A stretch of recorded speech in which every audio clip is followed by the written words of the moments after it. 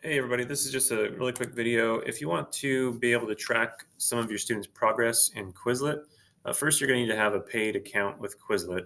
Um, once you do that and you have your uh, flashcards that you want, if you haven't already done so, you're going to want to create a class, which is really easy to do. Um, let's go to my Spanish 1 class here, for example. I've got 32 sets of flashcards set in there for them. But once you have your class created, even if it's just a brand new class and you don't have any flashcards yet, this uh, this class join link shows up right here, and you just need to get that link to your students. And then once they click on it, it'll take them to Quizlet. If they're not already signed in, they'll have to sign in with um, with their account or create an account through their school emails. Is usually what I tell them to do.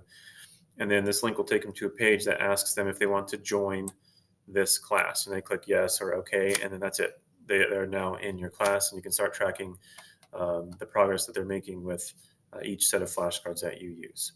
Uh, that's it. If you have questions, let me know.